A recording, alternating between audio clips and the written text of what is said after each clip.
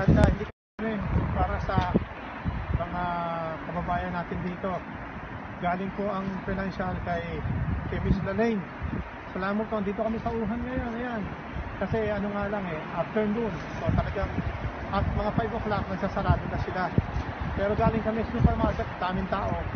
Okay naman dito sa Wuhan. At ah, hindi kami naniniwala sa fake news kasi ang fake news is makakasira ng, ng buhay yan. Kaya okay lang kami rito sa gov- government natin. Maraming salamat sa tumutulong. Kaya sa mga official dito sa Wuhan, maraming salamat. At wala po itong chaos at saka apocalypse. At saka hindi po to ghost town. Ito po ay tahimik na lugar. Siyempre, Chinese New Year, ang mga tao nasa bahay nila at ah, sinabihan ng gobyerno wag lalabas para hindi mahawa. Kami, ayan, mga pinamili namin yan, i-deliver yan sa mga kapwa natin Pilipino. Salamat po. Ito, ayan, oh. Hello po. Ayan, ayan, oh.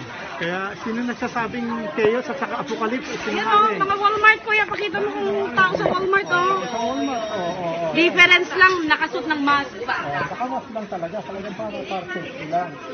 Ito po yung ano, ito yung mga pama pagkain. Binigyan na kami ng pera ng consulate uh, through DBS. ah, DBS, DBS. Ah, galing kay Ma'am Lalaine. Salamat po, Ma'am Lalaine, sa Ah, tulong. ayan, ah, ito pamimigay ito sa mga ano. Dito ka, dito ka. Yan. Salamat po, Ma'am Lalaine, sa tulong. Yan. Ah, pamimigay ito mamaya. I-deliver. Yan. Di makita kuya, kami naman pinapakita ko. Yun o. Yan, yan, yan, yan. Kaya ang sinasabi nilang ghost town at saka apocalypse, saka chaos, kalukuhan po yung kalukuhan. Andito. Tingnan mo ang Walmart. Oh, tingnan niyo ang Walmart, tingnan ang Walmart, yan. Yan, yan, yan, yan. Yan, oh. Yan po ang vlog ko ngayon. Thank you po. Kaya naman. Ah, mga kababayan, nandito naman kami ngayon sa Wuhan. Ito yung pangalawa, ah, January 28. Oh, Mapit ka kayo. January 28, yung mga kababayan natin dito. Hello. Sa Pilipinas, wala tong politics, wala tong ano, tulungan to. Ha? Mahal na Pangulo, huwag kayo mag-alala. Thank you, Miss Lalaine. DDS, DDS tayo. Yes. At wala tong politics. Okay. Salamat. Tulungan dito sa Wuhan. Thank you, Tatay Digong. Salamat po sa inyo. Salamat. Thank you po. po, update lang po. Ah, ito po yung area actually na kung saan ay 10 minutes away lang sa origin ng outbreak dito sa seafood market. Nasa Hangko po kami ngayon at ah, maraming tao nasa labas. Walang problema. Sige pa.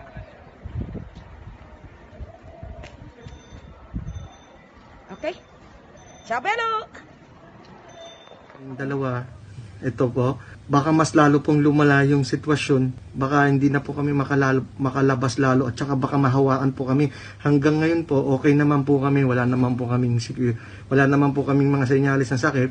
Kaso natatakot lang po kami, baka sa susunod na araw baka magkaroon na, na po kami. Kaya sana po matulungan niyo po kami. Kung sino man po makatulong sa amin, sana po ganit, matulungan niyo po at makalabas po kami dito ng maaga kasi nag-aalala na po yung pamilya namin. Tsaka kami lang po yung pilit. Dalawa lang po kami na foreigner dito sa Jingzhou City. 90 minutes away lang po kami sa Wuhan. Kami na lang po talaga dalawa na Pilipino di. Ngayon Opo. lockdown po yung city namin, lockdown po yung yung Wuhan, lockdown yung Jingzhou, yung Opo. iba pa. Tapos paano po baka dumating po yung panahon na yung buong China po talaga yung magiging Opo. lockdown. Paano po kami makakaalis po? Opo. Hanggang Hindi, apat na araw lang po yung buhay ng tao kapag nahawahan po. tapos hindi po tatay basta-basta kasi sasabihin natin huwag kayo lumabas. Hindi mo naman po pwede na sinasabi mo hindi ka lalabas kasi kailangan mo bumili ng pagkain.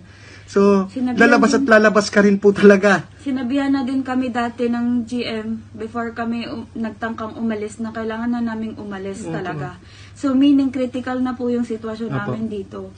At na lang po. Salamat po. Sana makarating po kay Sir Duterte tsaka Bentol kay Tsaka Tulfo. yung sa mga tao na sabi nila na okay pa sila, eh Hmm. baka po okay kayo dyan kasi po is kung hindi kayo malayo kung, mala, kung malayo kayo sa Wuhan, either malayo kayo sa Wuhan, either malayo kayo sa Hubei, kaya Hmm. okay kayo. Or kayo po yung priority ng government. Either government ng China or government ng Philippines. Bak kaya kaya kayo kayo ganon. Pero kami kami lang po dalawa dito. God bless po. Sana maging okay po kami dito. pag-pray na rin lang po kami. Salamat po. Maraming salamat.